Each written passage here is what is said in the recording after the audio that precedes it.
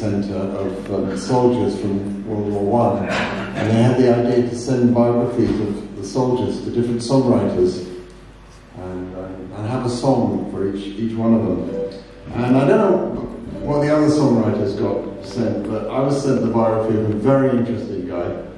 Uh, he was from Birmingham. His name was Frederick Broadrick, and he volunteered in 1914, but he only lasted three months in the army uh, before they chucked him out. And he spent most of that time in prison for offences such as leaving his camp without permission, uh, using obscene language to a commanding officer, and drunkenness. So I immediately took to him. and then uh, they told him he had a character entirely unsuited to soldiery. However, couple of years later, I think the British Army was beginning to run out of characters that were suited to soldiery because they recruited him and um, conscripted him. And after a brief training, he was sent to the front. And he distinguished himself in many attacks. Um, the irony of his story is eventually he was executed for, once again, uh, drunk, being drunk and leaving his camp without permission. Um, and uh, he was first of all condemned to death in 1917, and then they, they repealed that and, and, they said he could serve 10 years hard labour at the end of the war and sent him back to the front. And uh, a few months later, he was found a bit incoherent on the road to Calais, and he was tried the next day uh, without a lawyer present and shot the day afterwards. And so I was standing in front of his grave thinking, what the hell am I going to write? And I'd just been playing a, a house concert in, in, the north of Germany. In fact, I play lots of house concerts, if anyone's interested. I'll go with Tom afterwards. Um, get that plug in. Anyway, this particular house concert, on top of the piano, there was an old mandolin covered in dust. Uh, not this one, although coincidentally this one is also um, from, uh, it's from that period, it's from 1915.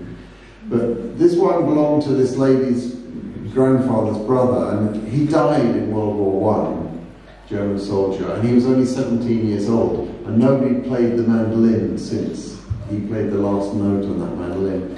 And as I was standing in front of Fred's grave, I, I thought I'd take the liberty to mix those two soldiers' stories together of the two soldiers, the German soldier and, and the British soldier. And so I turned Fred into a mandolin player I think uh, would probably have um, um, um, uh, amused him hugely. And uh, in this song I referred to Lily May, that was his half sister, and I was contacted recently by the grandson of Lily May, who is also a soldier. And uh, yeah, we had a, a little uh, conversation. This song's called The Unknown Soldier Has a Name, because if you ever go to these graveyards in Flanders, um, you'll see apart from these immaculate white gravestones, there's a big stone cross in the middle of each one with a sword on it. Still trying to work that out. Um, and it says underneath, their name liveth, liveth evermore. And I, I wish that was true. Um, and of course, I don't know if anybody's even read all the names of the people that died in World War One. But they were all individuals, things, they had things they were good at, things they weren't good at, just like us, you know. They had mates, they had people that didn't like them, they had girlfriends and parents and kids. And this guy's name was Fred, and the song is called The Unknown Soldier Has a Name.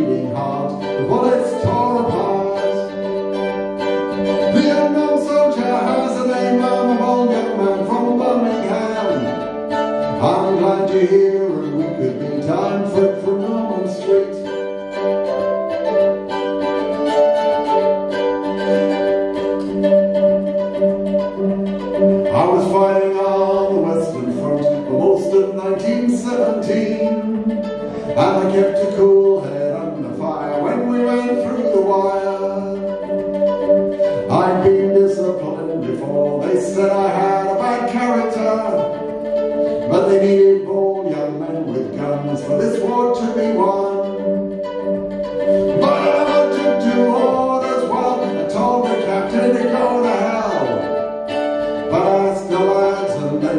Oh,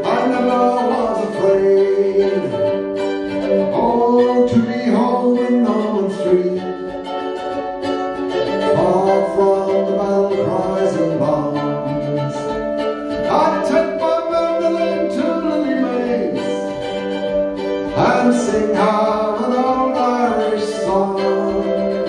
Then I took the notion to slip away and walk to Old Calais.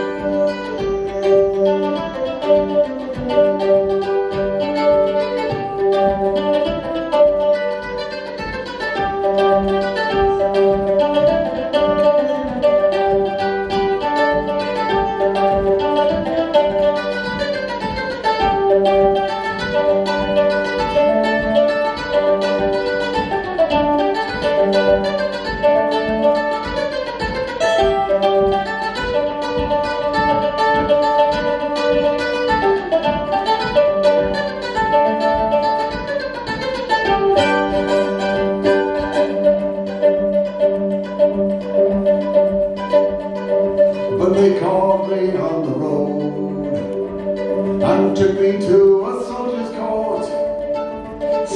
to be shot at dawn one lovely summer's morn.